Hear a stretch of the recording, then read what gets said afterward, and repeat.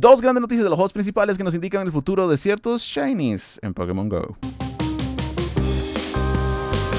Hoy fue la presentación del Nintendo Direct. Esto lo que nos trajo fue una serie de anuncios de Nintendo Switch en general y varias cosas, pero hay que decir que empezaron directamente la presentación Pokémon. Nos mostraron un poco del DLC, nos mostraron un poco de un nuevo juego que ya vamos a, es una continuación a una franquicia que estoy seguro que tendrán idea de que estoy hablando.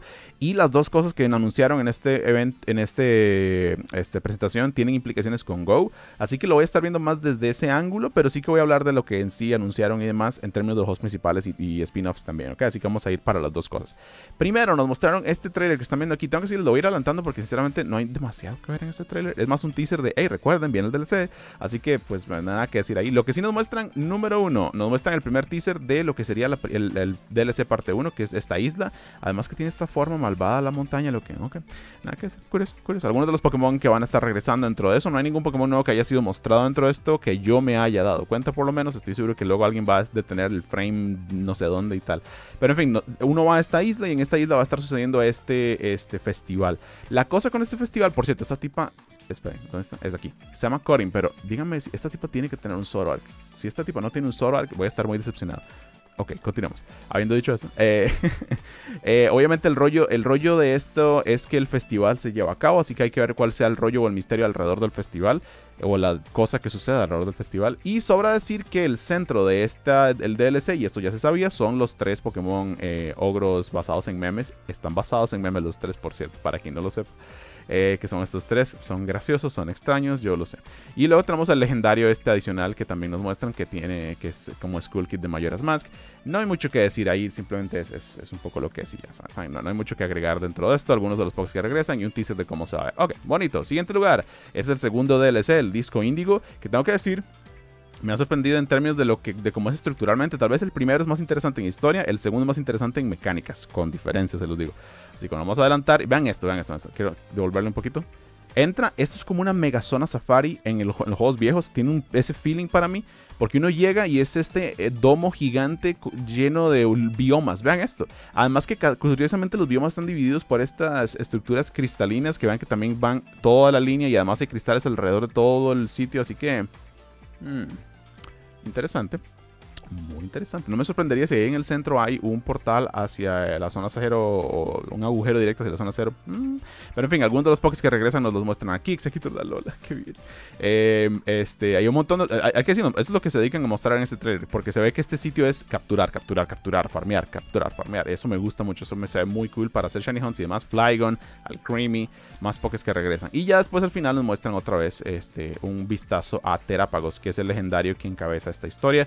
Que sobra decir, él tiene toda una unión a, los la teracristalización, a los cristales, etc. Así que bueno, sobra decir que esto se ve interesante, se ve bastante cool, pero no hay mucho más que agregar ya que no hay, mayor cosa. Ahora, ustedes dirán, bueno, ¿y qué tiene que ver con Pokémon, con Pokémon Go nada de esto? Oh, amigo, si nos vamos más adelante, hay un anuncio muy importante y es que hoy mismo Shiny Gimmighoul va a ser liberado. Nunca se había podido conseguir Gimmighoul Shiny hasta el día de hoy. Así que hoy empieza el reto de conseguir a Shiny Gimmighoul y va a estar disponible desde la tarde del día de hoy hasta el 2 de julio. Ahora ustedes dirán, bueno, ¿eso incluye Go? No, pero esta es la cosa. La unión grande que tiene Go con Gimmighoul hace pensar que esto pueda ser también una cosa inminente para Pokémon Go en, en tal vez de pronto el próximo mes, ya que tenemos eventos que están por venir hasta entonces, así que tal vez podría ser la situación. Así que es algo muy importante de remarcar, ya que el Gimmighoul forma cofre al fin va a ser liberado Shiny y por ende Golden Go también se va a poder conseguir Shiny por primera vez. No es que sean los Shiny más increíbles del mundo, Gimmighoul es más bonito, Gimmighoul es blanquito Shiny, pero sí, esto va a ser en incursiones en Pokémon Escarlata y Púrpura que se va a poder conseguir en la tarde del día de hoy. Se activarán esta, estas, estas incursiones hasta el 2 de julio. Hay bastante más tiempo que lo que suelen dar, así que eso es bastante bueno. Pero sí, Gimmighoul forma cofre, va a ser liberado Shiny. Así que ya veremos con, cuándo tendremos otro evento de rollo Home, rollo Gimmighoul. Mm, no voy a decir nada, pero no voy a decir nada. Siguiente cosa, el detective regresa. Hay que decir que desde 2018, creo, algo así por el estilo, fue Detective Pikachu, tanto el juego como la película. La película fue un poquito después del juego, pero este, esto me hace tan feliz. Para que tengo el volumen puesto y no me quiero quedar sordo esto no nos va a mostrar mucho este trailer porque no viene al caso. Vamos a buscar un frame de Detective Pikachu. Eh, básicamente, para quien no sepa, esto es una historia eh, basada en Detective Pikachu, ¿quién diría? En el que sí, Pikachu habla y resuelve misterios. Y uno diría que tiene sentido jugar esto. Créanme, es muy gracioso. Es, es un, tiene misterios. Ah, no, es súper difícil, nada por el estilo. Pero el juego número, el primer juego de entrega de Detective Pikachu, buenísimo. 10 de 10, muy feliz porque existiese. Y eso le dio cabida a la película Detective Pikachu, por lo que no me extrañaría que el rumor de que la siguiente, segunda película se está eh, planeándose tenga que ver un poco con la salida de este juego, ¿saben? Así que, el, ¿cuál es el punto que quiero llegar con esto? Detective Pikachu es el shiny más legendario de Pokémon Go, sin contar los legendarios literalmente. Pero lo digo porque Detective Pikachu se liberó shiny sin querer queriendo, además sin querer del todo, ni siquiera queriendo, sin querer, este, y se pudo conseguir en Pokémon Go por muy pocas personas. Un puñado de gente, literalmente, no sé si más de 10 personas tengan ese, shiny, porque tenían que haber una serie de circunstancias que se presentasen para que sucediese. Básicamente la gente tenía que conseguir su premio Detective Pikachu, que le spawneara el Detective Pikachu y ver el spawn hasta después de que se acabase el evento y esa manera dejaba de tener el lock de Shiny, dígase la prohibición de Shiny, y hay gente que lo consiguió Shiny de esa manera. Tomen en cuenta que nadie sabía que eso iba a ser así. Porque esas, eran las épocas en las que los eventos terminaban globalmente, no terminaban escalonados por zonas horarias. Entonces, a todos en el mundo por igual tuvieron el mismo chance, al mismo tiempo, a la misma hora. Y ahí es cuando nació el Shiny más difícil de tener de Pokémon Go, Detective Pikachu. Así que esto implica que si vuelve el juego y tenemos algún tipo de evento con el juego, parte 2 o lo que se llama el retorno de Detective Pikachu, posiblemente este Pokémon sea liberado y es muy posible que el Shiny sea liberado al fin. Y eso, eh, pues bueno, desbloquearía a, un Shiny súper emblemático de Pokémon GO desde hace muchísimos años. Así que bueno, por ahora es todo lo que tengo que decir, pero bueno, dos Shinies interesantes apareciendo eh, potencialmente, de maneras diferentes. Pero sí, ¿qué creen ustedes? ¿Cómo creen que llegue mi Gimmighoul, este Shiny a Pokémon GO? ¿Qué, ¿Qué tan pronto cree que sea? Yo sinceramente no me extrañaría si en julio tenemos algo, no se los voy a negar, no me extrañaría.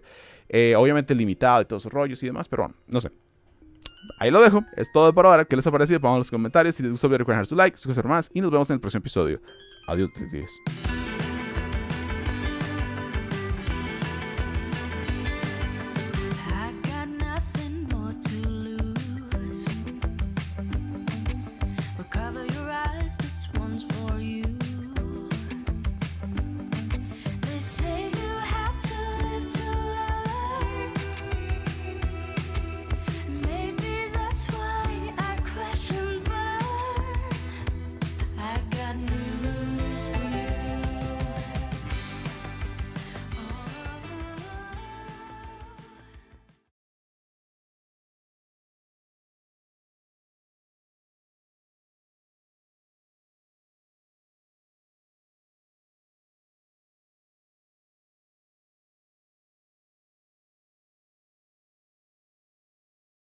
Ok, se quedaron hasta el final. Video bonus.